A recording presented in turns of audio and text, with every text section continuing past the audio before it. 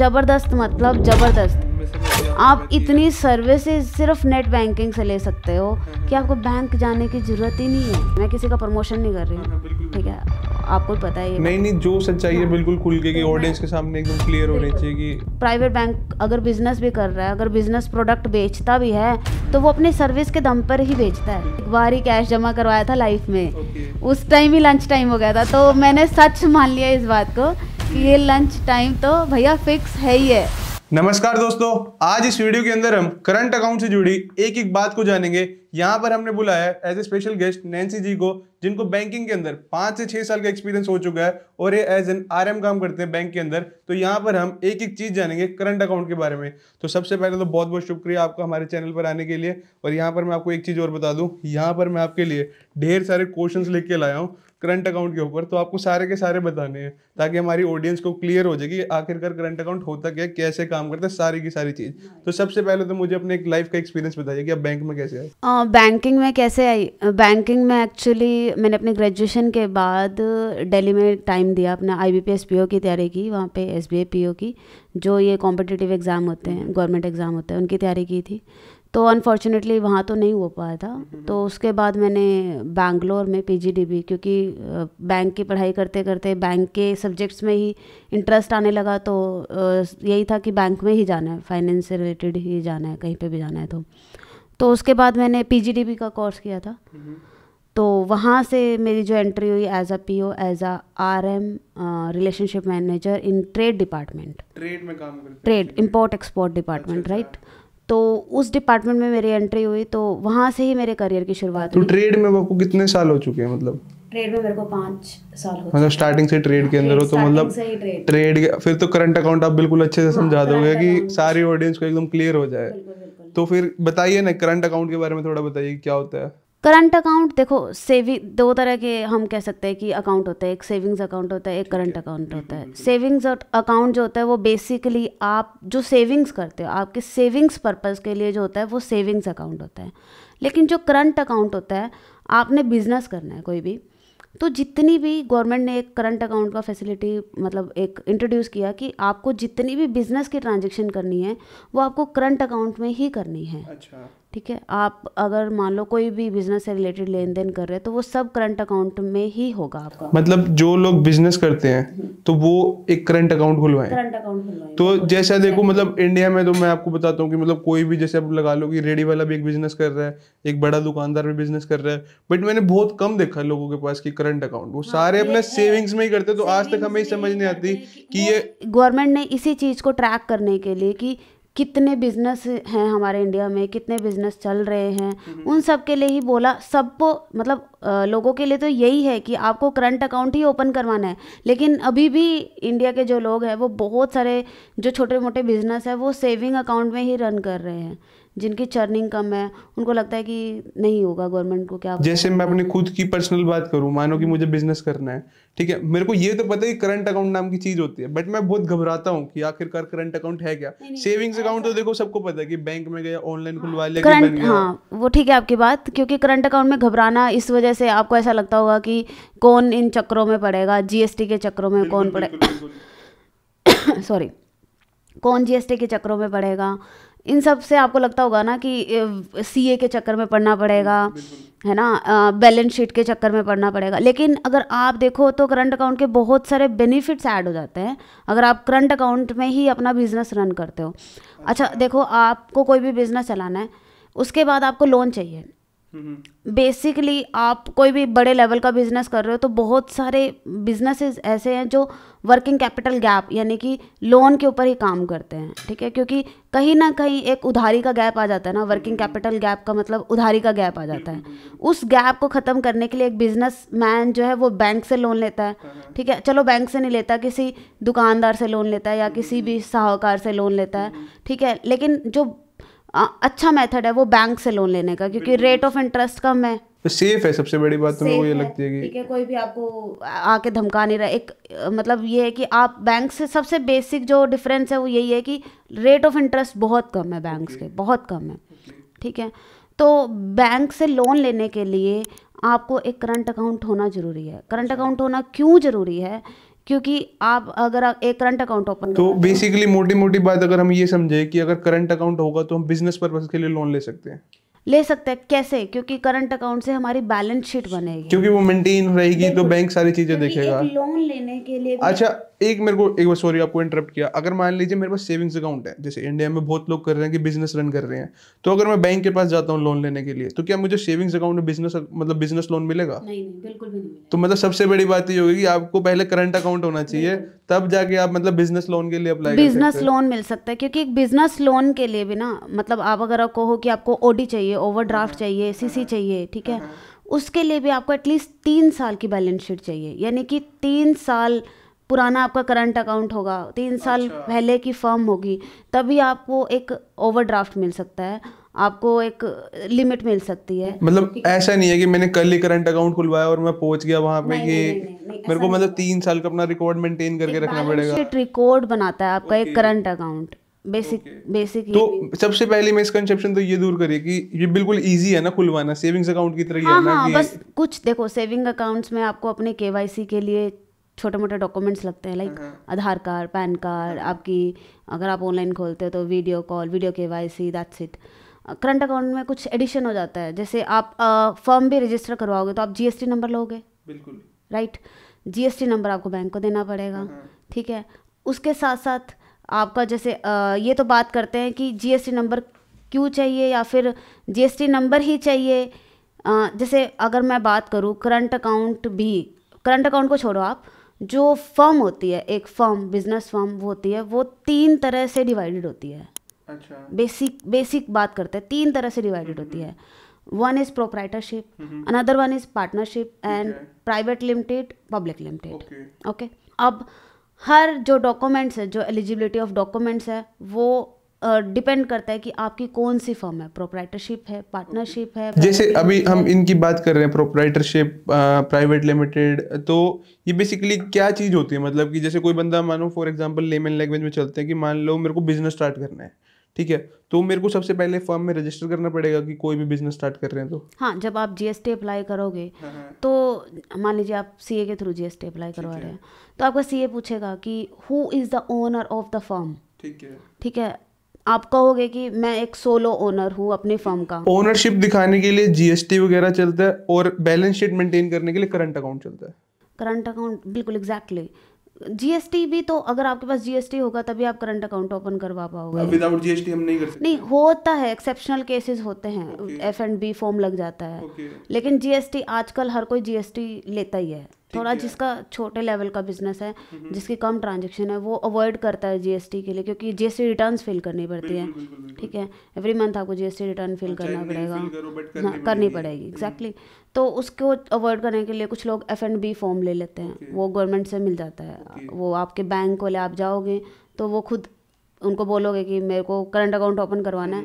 तो कहेंगे F and B form ले लो अगर आपके पास जीएसटी नहीं है तो वो खुद आपकी हेल्प कर देंगे। तो बेसिकली मतलब मेरे को कोई भी बिज़नेस ओपन करना है तो मतलब अगर चलने तो सबसे पहले मेरे को जीएसटी लेना पड़ेगा। जीएसटी उसके अंदर भी अलग अलग वो आते हैं कि आपको मतलब प्राइवेट लिमिटेड के लिए अप्लाई करना हाँ वो है। आपको बता बताना पड़ेगा ना कि आप अपने फर्म को कैसे रजिस्टर करवाना चाह रहे हैं। आप अपनी फर्म को partnership as a partnership register करवाना चाह रहे हैं। एज अ प्रोप्राइटरशिप रजिस्टर करवाना चाह रहे हैं। एज अ प्राइवेट लिमिटेड और अ पब्लिक लिमिटेड तो ये सब मतलब सीए ही वो करवा देता है कि एक सीए के पास जाओ उसे बताओ कि मुझे ये करवाना है तो वो बता देगा कि क्या है। तो अगर हम बेसिकली अब करंट अकाउंट की बात करें तो मतलब करंट अकाउंट को ओपन करवाने के लिए क्या क्या चीज़ें ज़रूरत होती है? सबसे पहले तो मेरे को ये बताओ। तो मैं यही बता रही थी, इस मतलब ये डॉक्यूमेंट्स बताने से पहले ऑडियंस को ये क्लियर होना चाहिए कि आपकी फर्म कौन सी है और इनमें क्या डिफरेंस है, मैं कौन सी फर्म में अपना रजिस्टर कराऊँ तो बेसिकली तीन तरह की फर्म्स होती हैं। Proprietorship another is partnership another is private limited और पब्लिक लिमिटेड ठीक है? जो प्रोप्राइटरशिप फर्म है जो प्रोप्राइटरशिप फर्म है उसके जो ओनर हो आप खुद हो आप अकेले उसके ओनर हो। ठीक है। सोलो ठीक है? दैट इज़ प्रोप्राइटरशिप ठीक है? Who the single one is the owner of the firm ठीक है। ठीक है? वो क्या होगा? प्रोप्राइटरशिप हो गया right another one is partnership partnership में like we two are running the we two are running a business right तो हम पार्टनर्स हो गए। ठीक है। पार्टनर्स हो गए पार्टनर्स दो भी हो सकते हैं और सौ भी हो सकते हैं। अच्छा मतलब minimum number should be two and the maximum partner can be based the companies act 1934 companies act के अकॉर्डिंग। जो पार्टनर्स है वो जो मैक्सिमम नंबर ऑफ़ पार्टनर्स हैं दैट कैन बी हंड्रेड ठीक है? And minimum should be two right आप अपने आप को पार्टनर नहीं बोल सकते। It should be two partnership हो गया। अब private limited and public limited ठीक है। प्राइवेट लिमिटेड में ये होता है कि आप अपने शेयर्स पब्लिक के लिए ओपन नहीं कर सकते हो। बेसिक डिफरेंस ये होता है। पब्लिक लिमिटेड जो कंपनी होती है वो अपने शेयर्स पब्लिक के लिए ओपन कर सकती है। ठीक है? बेसिक डिफरेंस ये होता है। प्राइवेट लिमिटेड में जो होता है बोर्ड ऑफ़ डायरेक्टर्स होते हैं। अच्छा। पब्लिक लिमिटेड में बोर्ड ऑफ़ डायरेक्टर्स होते हैं। ठीक है? प्राइवेट में मिनिमम दो होते हैं पब्लिक में मिनिमम तीन होते हैं। ठीक है? मैक्सिमम आई थिंक प्राइवेट में it can be two hundred and public में देर इज़ नो लिमिट क्योंकि पब्लिक ही शेयर्स परचेज करने लग जाती है। तो वो देर इज़ नो नंबर्स ठीक है? तो अगर हम मतलब ये तो आपने मेरे को पूरा का पूरा बिज़नेस का वो बता दिया तो अगर हम डॉक्यूमेंटेशन पे हैं कि करंट अकाउंट के लिए क्या क्या चाहिए होती है? मैं वही वही बताती हूँ अभी। अगर हम प्रोप्राइटरशिप की बात करते हैं बेसिकली प्रोप्राइटरशिप की अगर हम बात कर रहे हैं तो प्रोप्राइटरशिप आप अकेले हैं तो आपका आधार चाहिए आपका पैन चाहिए आपने अपनी फॉर्म रजिस्टर करवाई एज अ प्रोप्राइटरशिप तो GST of the firm. GST of the firm चाहिए ठीक है। है। उसके अलावा आप अपना जो लेटर हेड है वो रेडी करवाइए क्योंकि बैंक के कुछ डॉक्यूमेंट्स होते हैं जो लेटर हेड पे प्रिंट होंगे आपके। यानी कि आपका आपकी कंपनी का नाम फोकस पाथ है लगाइए। तो आपके पास एक लेटर हेड होना चाहिए फोकस पाथ का ए फोर साइज़ का जो होता है राइट आपके कंपनी के नाम की स्टैंप होनी चाहिए ठीक है। मैंने आपको बता दिया Aadhaar card PAN card GST आपकी जो लेटर हेड है वो आपका जो वो है क्या कहते हैं स्टैम्प वो। और another one the last one आपसे बैंक चेक मांगेगा। ठीक है। चेक मांगेगा तो आप अपने सेविंग अकाउंट का चेक दे सकते हैं। अच्छा कि मतलब वो एक तरह से वेरिफिकेशन के लिए होता yes, है कि सेविंग अकाउंट का चेक अकाउंट ओपनिंग चेक होता है एक्चुअली ठीक है? ठीक है तो ये बेसिकली प्रोप्राइटरशिप के बहुत सिंपल डॉक्यूमेंट्स हो गए बहुत सिंपल डॉक्यूमेंट्स हो गए। दैट जीएसटी इज़ रिक्वायर्ड अगर आप सेविंग्स अकाउंट खोलते हैं वहाँ जीएसटी नहीं चाहिए यहाँ जीएसटी चाहिए दैट्स इट ठीक है? उसके अलावा अगर हम पार्टनरशिप की बात करें पार्टनरशिप में पैन कार्ड बनता है फर्म का पैन कार्ड। मतलब अलग से कंपनी का फर्म का पैन कार्ड बनेगा ठीक है हाँ। आपका पैन कार्ड है ऐसे ही आपकी एक कंपनी का पैन कार्ड बनेगा। वो पार्टनरशिप के अंदर वो पार्टनरशिप फर्म के है। पार्टनरशिप फर्म के लिए। जीएसटी ठीक है? है। जीएसटी होगा ठीक है? तो अब डॉक्यूमेंट्स की बात करते हैं आधार कार्ड। पैन कार्ड दोनों पार्टनर्स की बात हो रही है। दोनों पार्टनर्स के आधार कार्ड जैसे हम दोनों बिज़नेस रन कर रहे हैं तो आपका भी आधार कार्ड पैन कार्ड लगेगा मेरा भी आधार कार्ड पैन लगेगा। और एक जो बिज़नेस का पैन कार्ड बना है मतलब बनवाना पड़ेगा कि वो वो चीज़ लगेगी। जितने भी पार्टनर्स है उन सबका केवाईसी लगेगा like Aadhaar card PAN card और अपना फॉर्म का जीएसटी लगेगा और फॉर्म का पैन कार्ड लगेगा। हम्म। ठीक है वही सेम लेटर लेटर हेड लगेगा स्टैंप लगेगी और चेक लगेगा। ठीक है। चेक दोनों पार्टनर्स में से कोई भी दे सकता है। ओ। कोई ऐसा नहीं है ठीक है। है। बस ये बेसिक डॉक्यूमेंट्स हैं ठीक है? अब आते हैं प्राइवेट लिमिटेड पे और पब्लिक लिमिटेड पे। प्राइवेट लिमिटेड और पब्लिक लिमिटेड में सेम है? केवाईसी सारे डायरेक्टर्स की होगी सभी डायरेक्टर्स की जो जो है मतलब इंक्लूड है सबकी केवाईसी होगी। केवाईसी में मतलब उनके आधार कार्ड पैन कार्ड लगेंगे। सभी डायरेक्टर्स की केवाईसी होगी। जीएसटी लगेगा फॉर्म। फर्म का फॉर्म का पैन कार्ड इसमें भी बन के आता है। उसके अलावा जो तीन तरह के डॉक्यूमेंट्स होते हैं अच्छा। सर्टिफिकेट ऑफ़ इनकॉर्पोरेशन वो लगता है। ठीक है? उसके बाद बोर्ड ऑफ़ रेजोल्यूशन लगता है आर्टिकल ऑफ़ एसोसिएशन लगता है। ये जब आप अपनी फॉर्म रजिस्टर करवाते हो ना तो आपका सी ए सब कुछ सब कुछ हाँ ये बेसिक डॉक्यूमेंट्स बेसिक डॉक्यूमेंट जो है वो सी तो मेरे को मतलब आपने डॉक्यूमेंट्स तो बता दिया कि ये ये लगते हैं बट मेरा एक सवाल यहाँ पर ये आता है कि जैसे मान लीजिए कोई रेडी वाला है कर तो वो भी बिज़नेस रहा है तो अब उसको भी इस सारे प्रोसेस से गुजरना पड़ेगा? मतलब उसको एक करंट अकाउंट ओपन करवाना है तो वो सबसे पहले जाके अपनी जीएसटी अप्लाई करेगा कि मतलब जीएसटी में अब वो प्रोपराइटर है तो प्रोपराइटर बनेगा। फिर उसके बाद बिल्कुल ही बिल्कुल मतलब बिल्कुल बिल्कुल बिल्कुल। ये अगर प्रोपराइटर मतलब ये बेसिक बेसिक डिमांड है ही है ये। अगर आप जीएसटी अप्लाई नहीं करते कि आपको लगता है कि "हम्म, मैं जीएसटी रिटर्न अभी नहीं फिल कर पाऊँगा। तो आप एफ़ एंड बी फॉर्म होता है गवर्नमेंट का वो अच्छा तो मतलब वो एफ़ एंड बी फॉर्म के थ्रू वो कर सकते हैं। ओपन हो जाता है करंट अकाउंट ओपन हो ठीक है।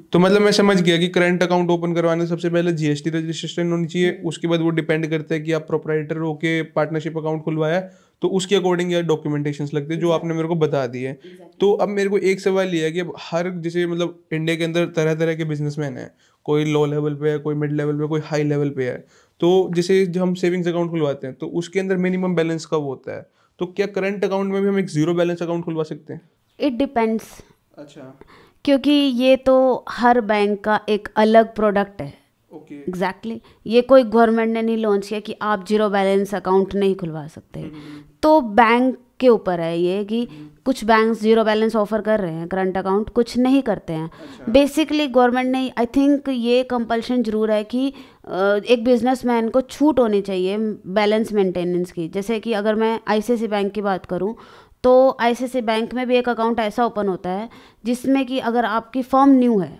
new registration of the form है जीएसटी अभी जस्ट आपने बनाई है आपकी नई फॉर्म है तो आपको एक साल तक बैलेंस मेंटेन करने के लिए कोई ज़रूरत नहीं है। वो एक स्पेशल खाता होता है एक स्पेशल अकाउंट होता है। अगर आप वो करंट तो बेसिकली आपने जैसे स्टार्टिंग में ही क्लियर कर दिया कि तरह तरह की एक तरह से प्रोडक्ट है बैंक का। ये कि करंट अकाउंट बैंक का प्रोडक्ट है और हर बैंक ऑफ़र कर रहा है।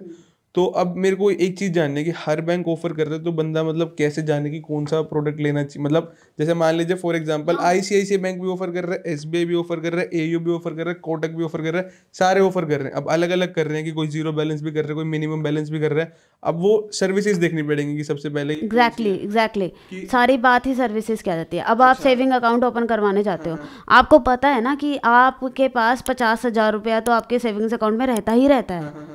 तो आप बड़ा अकाउंट खुलवा सकते हैं जिसमें आप मेंटेनेंस ज़्यादा रख सकते हैं ठीक है? जब आपको पता ही है कि आप ज़ीरो बैलेंस आपका कभी कभी बैलेंस ज़ीरो चला जाता है तो आप ज़ीरो बैलेंस अकाउंट ही प्रेफर करते हैं सेविंग्स अकाउंट में। Same with the current account बहुत सारे बिज़नेस मैं कहती हूँ कि बहुत मैक्सिमम नंबर ऑफ़ बिज़नेस ऐसे ऐसे हैं जो अपना दिन का बिज़नेस रन करते हैं विदाउट एनी मतलब उनका अकाउंट में जैसे पैसा आया तो वैसे ही चला जाता है। ट्रांजेक्शन्स चलती है नॉर्मल तो बेसिकली उनकी क्वार्टरली जो मेंटेनेंस है बैलेंस की वो नहीं हो पाती तो आप थोड़ा अपने एक्सपीरियंस से अपने ट्रेड में काम करके थोड़ा कोई एग्जांपल देना चाहोगे कि ट्रेड कस्टमर्स बेसिकली जो होते हैं ना वो थोड़े मतलब मैं अगर बात करूँ तो वो थोड़े प्रिविलेज कस्टमर्स हो जाते हैं। ठीक है? उनकी पेमेंट्स डॉलर में आती है या जाती है। तो वो देखो करंट सॉरी करंट अकाउंट में भी बेसिकली अगर आप ट्रेड अकाउंट प्रेफर करते हैं तो ट्रेड अकाउंट में अलग अलग तरह की वो हैं। जैसे कि अगर आप एक्सपोर्टर हैं अगर आप एक्सपोर्टर हैं तो आपको बीआरसी के लिए चार्जेस देने पड़ेंगे बैंक को ठीक है? तो आप ऐसा करंट अकाउंट अडॉप्ट करोगे जहाँ पे अगर आप बैलेंस मेंटेन कर सकते हैं जहाँ आपको बीआरसी के कम से कम चार्जेस देना पड़े क्योंकि अगर एक बीआरसी के आपको पाँच सौ रुपये देने पड़ रहे हैं तो आप चाहोगे ना कि मेरे को ऐसा करंट अकाउंट मिल जाए जहाँ मेरे को एक बीआरसी के सौ रुपये देने पड़े। मतलब हाँ मेरा खर्चा कम से कम हो ठीक है? क्योंकि एक ट्रेड अकाउंट जो है वो मेंटेन हो जाता है बैलेंस क्योंकि उनका तो जो एक पेमेंट आई और उन्होंने एक दिन भी रोक ली डॉलर्स में पेमेंट आई एक दिन भी रोक ली तो वो भी बैलेंस मेंटेन कर जाता है। ओके मैं समझ गया कि उनकी पेमेंट ही इतनी बड़ी बड़ी होती है कि तो बंदा वो करता है। तो मतलब सिंपल सी बात ये है कि जब भी करंट अकाउंट खुलवाओ तो वैरायटी मिल जाएगी आपको करंट अकाउंट की डिफरेंट डिफरेंट बैंक मिल जाएँगे। तो आपको सबसे पहले ये देखना है कि आपको क्या क्या सर्विसेज़ मिल रही हैं कि उस बिल्कुल। देखो अब सर्विसेज़ की भी अगर मैं बात करूँ एक करंट अकाउंट खुलवाता है बिजनेसमैन तो वो बेसिक अगर मैं वेंडर्स की बात करती हूँ बेसिक दुकानदारों की बात करती हूँ तो दुकानदार एक दुकानदार ज़्यादातर कैश में डील करता है। बहुत कम देखो मैं मान रही हूँ कि यूपीआई का ट्रेंड आ गया बहुत जगह यूपीआई यूज़ हो रही है ठीक है? मैं खुद पैसा कैश नहीं रखती हूँ अपनी पॉकेट में खुद मैं यूपीआई ट्रांजेक्शन ज़्यादा करती हूँ। लेकिन अभी भी बहुत सारे वेंडर्स ऐसे हैं जो कैश जिनके पास कलेक्टिव कैश आता है। जैसे आप पेट्रोल पंप वालों की बात कर लो उनके पास भी कैश बहुत आता है। वो उनके पास बहुत कैश आता है ठीक है? तो आप ऐसा अकाउंट देखिए कि जहाँ कैश डिपॉजिट लिमिट मान लीजिए अगर आपकी कैश ट्रांजेक्शन बहुत ज़्यादा है okay. तो आप ऐसा अकाउंट प्रेफर करेंगे जहाँ आपको पता है कि इस अकाउंट को खुलवाने से मेरी जो कैश डिपॉजिट लिमिट है वो अच्छी खासी मिल रही है। ठीक है? अगर मैं इस लिमिट से ज़्यादा प्रोसीड करूँगा तभी चार्जेस लगेंगे। ठीक है? तो ये सब चीज़ें ध्यान रखें। और भी कुछ की पॉइंट्स बताइए जैसे हाँ। आपने कैश डिपॉजिट लिमिट बताई तो ऐसे करके और भी की पॉइंट्स बेसिक तो आपको सर्विस है। देखिए बिल्कुल। बिल्कुल मैं सच बताऊँगी सर्विस की अगर मैं बात करूँ ना तो अगर आपने कैश डिपॉजिट करवाने के लिए बंदा भेजा जा भैया लाख रुपए आप जाओ और बैंक में जमा करवा दो ठीक है? लाख रुपए जमा करवाने के लिए वो एसबीआई गया क्योंकि आपका एसबीआई में अकाउंट है वो लाइन में लगा और वो दोपहर तक लाइन में लगा रहा और आगे से आवाज़ आती है सर लंच हो गया बाद में करेंगे। ठीक है? तो तो क्या लगता है क्या बीतती है कि भैया है एक काम करूँगी अपना एग्जैक्टली exactly, आपने किसी को भेजा उसका भी टाइम वेस्ट हाँ, हाँ, ठीक है? ऊपर से लाइन में लगना अलग से। और अगर मैं यही प्राइवेट बैंक्स की बात करूँ हम्म, करंट अकाउंट या आप प्राइवेट बैंक सर्विसेज़ ऐसे दे रहे हैं ना क्योंकि उनको तो सर्विसेज़ से ही कस्टमर खुश रखना है। अगर आप किसी प्राइवेट बैंक अगर बिज़नेस भी कर रहा है अगर बिज़नेस प्रोडक्ट बेचता भी है तो वो अपनी सर्विस के दम पर ही बेचता है। ठीक है? प्राइवेट बैंक्स में क्या है वहाँ तो ऐसा होता है कि अपने आराम का कॉल किया कि मैं कैश लेकर आ रहा हूँ देखना मेरा नंबर लग जाए जल्दी से जल्दी से हो जाए काम थोड़ा सा देखना एक बार मेरे को थोड़ा टाइम कम है तो हो जाता है। वहाँ कोई ऐसा नहीं है कि लंच के लिए उठ के चला गया अभी अब मैं यहाँ पे कैश डिपॉजिट नहीं हो रहा कैश डिपार्टमेंट बंद है ऐसा नहीं है प्राइवेट बैंक्स में। एक एम्प्लॉय उठ के जाता है तो दूसरा कैश डिपार्टमेंट में आ जाता है अपने सीट पे आगे बैठ जाता है ठीक है? तो आपका तो और भी बहुत सारी सर्विसेज़ है यार। आप देखो देखो आप समझो चेक के लिए बहुत सारी सर्विसेज़ है N E F T R T G S कितनी सारी ट्रांजेक्शन ऐसी होती है। ट्रेड की ट्रांजेक्शन तो ऐसी हैं जो रात रात भर तक चलती हैं। अब मैं बात करूँ ट्रेड की ही ट्रांजेक्शन की बात कर लेती हूँ। चलो मैं आई की ही बात कर लेती हूँ।